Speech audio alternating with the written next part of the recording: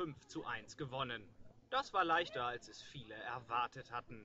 Eindrucksvoll demonstrierte der in Rot spielende ETSV Würzburg, dass sie nicht gewillt waren, sich im Derby gegen Karsbach eine Blöße zu geben. Von der ersten Minute an beherrschte die Haubenthal-Crew den Lokalrivalen.